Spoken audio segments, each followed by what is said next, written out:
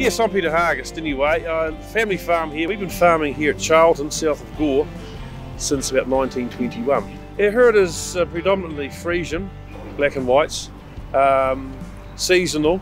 We milk here about 130 cows. Yes, it was the winter of 2014. It was a difficult winter. We were feeding our cows across the road on our runoff block. The conditions were appalling. The wastage of feed was appalling. They had their backs to the storm, standing in slush and mud, um, nowhere dry to sleep. And I was looking for a simple solution for cow shelter. That's basically what it was, and it was surprisingly affordable for us. In the shed here, we were getting efficient use of our feed. They were putting on weight. The cows were happy. We had very few problems with calving. We sited the shed here in a convenient place on a piece of land which we didn't use much, so we didn't use up a paddock. We feed basically baleage in here. It works out very good.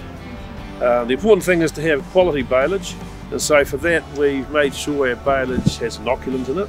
That cuts out the mistakes and the failures, and we get very good utilisation.